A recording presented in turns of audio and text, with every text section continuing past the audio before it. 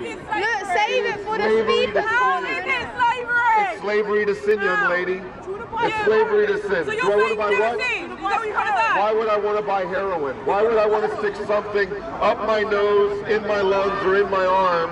When you That talk could kill about me. you're doing the same thing. I'm sorry. Did, did your parents teach you to talk that way? Maybe. Because What was it? because ladies because ladies don't talk like that. You You're dishonoring your Do you wanna parents. You're dishonoring your parents.